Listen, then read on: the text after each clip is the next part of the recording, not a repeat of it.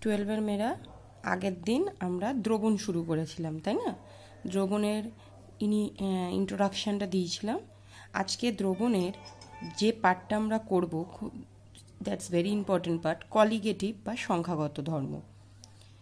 তাহলে আগে আমাদের জানতে হবে এই কলিগেটিভ বা সংখ্যাগত ধর্ম কাকে বলে। তাহলে এই ধর্মগুলো অবশ্যই দ্রবণের হবে, কারণ দ্রবণ চ্যাপ্টার পড়ছি। এটা দ্রবণটার ক্যারেক্টার কীরকম হবে?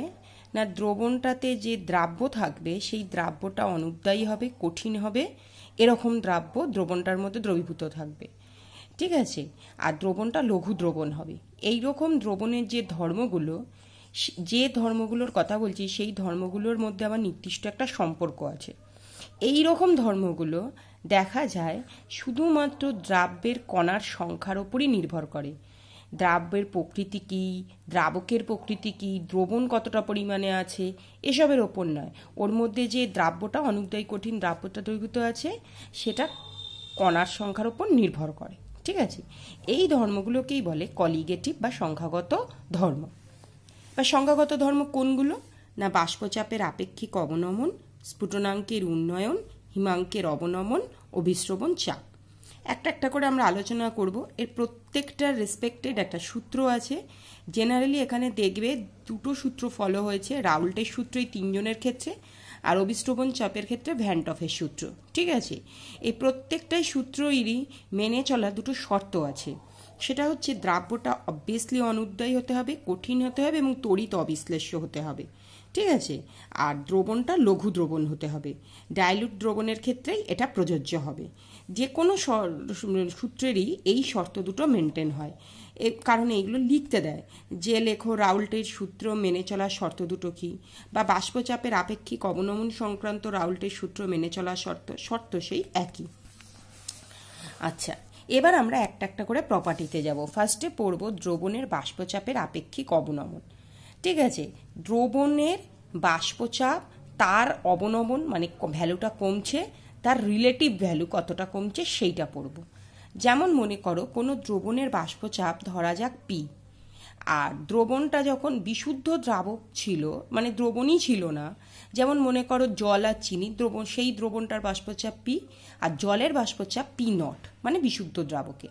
দেখা যায় সবসময় এই পি ভ্যালুটা পি নটের চেয়ে কম হয় মানে দ্রবণের বাষ্পচাপ খানিকটা কমে যায়। তাই তো অবনমন লিখেছে।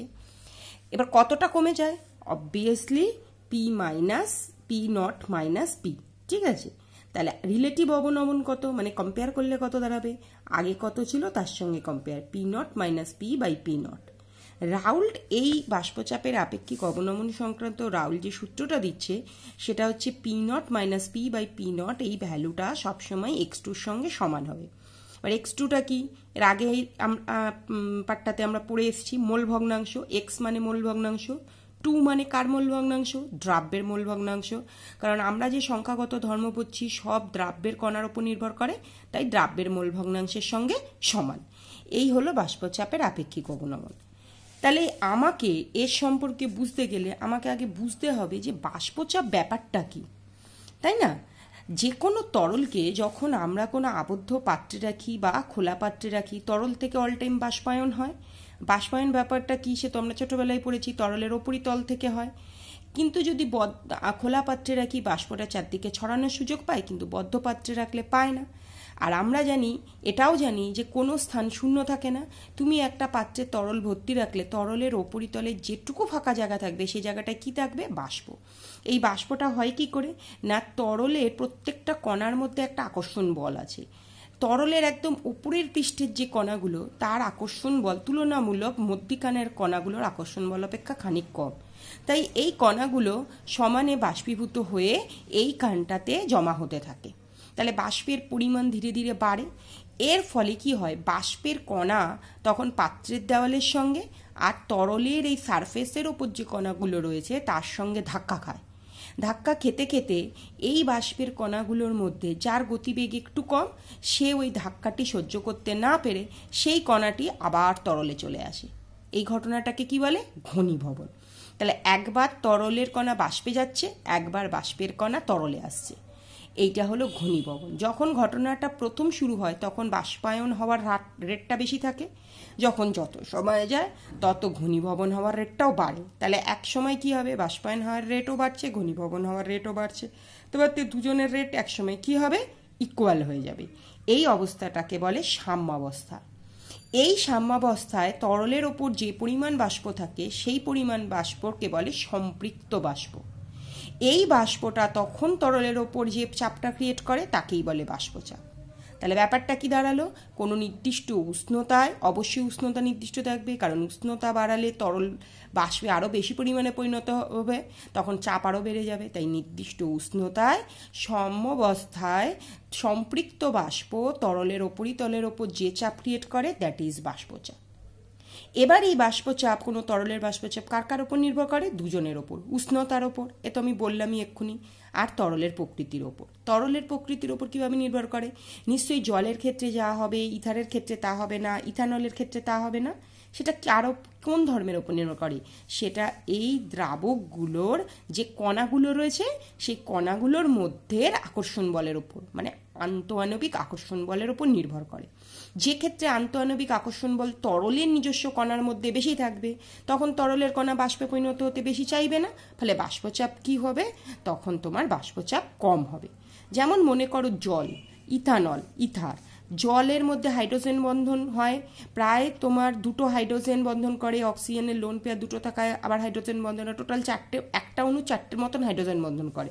কিন্তু ইথানলে কে আছে? ও এইচ ও এইচ কী করে? আরেকটা ইথানল অনুর সঙ্গে হাইড্রোজেন বন্ধন করে। কিন্তু ইথারাতে কোনো এরকম হাইড্রোজেন নেই, তাই ইথার তো হাইড্রোজেন বন্ধন করে না। তাহলে এদের মধ্যে কার কণার আকর্ষণ বেশি? জলের। তাহলে আন্তঃআণবিক আকর্ষণ জলের বেশি, তারপর ইথানল সবচেয়ে কম ইথারের। তাহলে এর মধ্যে যদি আকর্ষণ বেশি হয়, এ তো অতি সহজে বাষ্প পরিণত হতে পারবে না, তাই এর বাষ্পচাপ সবচেয়ে কী হবে? কম হবে। এইভাবে তরলের প্রকৃতির ওপর নির্ভর করে। এইবারে তরল আসলাম মানে জলের বাষ্পচাপ বললাম। এবার দ্রবণের বাষ্পচাপ বলব মানে জল আর চিনির বাষ্পচাপ বলব, বা জল আর নুনের বাষ্পচাপ। দ্রবণ হবার পর বাষ্পচাপটা কি হয়? এবার দেখো, যতক্ষণ এটা শুধু জল ছিল, তাহলে এই জলের সারফেসে জলই, জলেরই অণু ছিল, মনে করে এতগুলো অণু বাষ্পে পরিণত হচ্ছিল। কিন্তু এখন যখন ওর মধ্যে চিনি বা নুন যা হোক যোগ করে দিয়েছি, তখন এই জলের সারফেসে জলের সঙ্গে সঙ্গে ওই দ্রাব্য কণাগুলোও তো রয়েছে, জল আর চিনির অণুগুলোও তো রয়েছে। তাহলে আগে যদি এই সারফেসে জলের কণা দশটা থাকে, এখন তো এই সারফেসে জলের কণা কমে সাতটা হয়ে যাবে। তাহলে আগে দশটা অনুবাষ্প হচ্ছিল এখন সাতটা অনুবাষ্প হবে। তাহলে তোমরাই বলো কোন ক্ষেত্রে বাষ্প চাপ কম হবে? না অবভিয়াসলি দ্রবণ অবস্থায় বাষ্পচাপ কম হবে, তাই দ্রবণের বাষ্পচাপ সবসময় কি হয়ে যাচ্ছে? কম হয়ে যাচ্ছে। বোঝা গেল ব্যাপারটা। তবে সেই কোন দ্রবণ নেব, না দ্রাব্য যেটা দ্রবীভূত করব, সেটা অনুদ্দায়ী হবে। ও যদি নিজে উদ্দায়ী হয়, তাহলে ও তো বাষ্পে পরিণত হবে। তখন কি জলের বাষ্পচাপ আলাদাভাবে বিচার করতে পারব না? তাই যে জলের বাষ্পচাপ যখন বিচার করছি জলের মধ্যে যাকে দ্রবীভূত করব, তার বাষ্পচাপটা হওয়া চলবে না। আর তড়িৎ অবিশ্লেষ্য হবে। মানে ভাঙা চলবে না। তুমি একটা অণু নিলে ওর ভেতর একটাই অণু থাকবে। নাহলে কি হবে? তুমি একটা অণু নিলে জলের ভেতর ভেঙে ওটা দুটোতে পরিণত হয়ে গেল। তাই না? দুটো আয়নে পরিণত হয়ে গেল। তুমি একটা অন্য রেসপেক্টে বিচার করছ, পরে দেখা গেল ওটা দুটো আয়নের রেসপেক্টে বিচার হবে। ঠিক আছে? আর কি হতে হবে? না লঘু দ্রবণ হতে হবে মানে কণার সংখ্যাটা যথেষ্ট কম থাকতে হবে।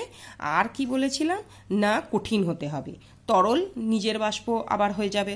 আবার গ্যাস হলেও নিজের বাষ্প থাকবে, কঠিনের তো অতটা বাষ্প থাকে না, সেই জন্য এরকম দ্রবণ হতে হবে।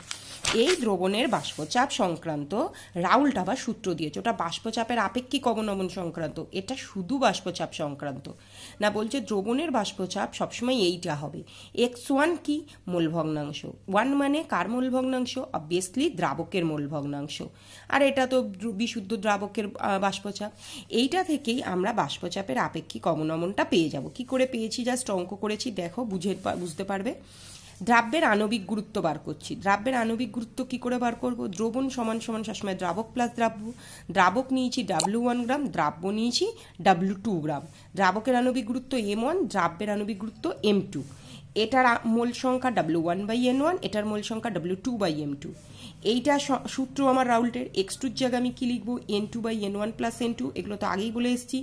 N two plus N one plus N two কিন্তু এখানে এন ওয়ানের মানটা হচ্ছে এন ওয়ানের মান হচ্ছে এন টুর তুলনায় অনেক বড় মানে দ্রাবক তো অনেক বেশি পরিমাণে থাকে। তাহলে এন ওয়ান আর এন টু যোগ করলে প্রায় কার সমান সমান হবে? এন ওয়ানের সমান সমান হবে। তাহলে এন টুর জায়গায় এটা বসাবো এন ওয়ানের জায়গায় এটা বসাবো। জাস্ট রিঅ্যারেঞ্জ করে এই ব্যাপারটা এসছে। সেখান থেকে আমি বার করছি দ্রাব্যের আণবিক গুরুত্ব মানে এম টু বার করতে চাইছি। জাস্ট অঙ্কের মতন সমীকরণ তৈরি করে এম টু এনেছি। তোমাদের অঙ্কের জন্য এই অঙ্কের জন্য মনে রাখবে জাস্ট এইটা। ঠিক আছে? কিন্তু যদি বলে এটা বার করতে, তখন এত দূর বার করে তোমাদের দেখাতে হবে। এটা মনে রাখলে এটা নিজেরাই বার করে দেখাতে পারবে। ঠিক আছে? এর পরের দিন আমরা অন্য সংখ্যাগত ধর্ম পড়ব।